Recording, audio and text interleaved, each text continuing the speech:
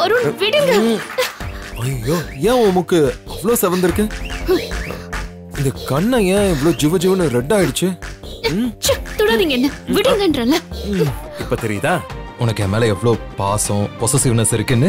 அதுக்காக தான் இப்படி பண்றீங்களா? ம் ஆமா. ச்சீ நீங்களா ஒரு மனுஷனா? இன்னொரு தடவை இப்படி பண்ணி பாருங்க. நான் பண்ணுவேன். இப்படித்தான் பண்ணுவேன்.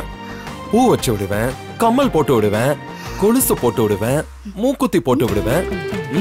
என்ன வேணா பண்ணுவேன். பண்ணுங்க. அப்புறம் பாருங்க நான் யாருன்னு காட்டுறேன்.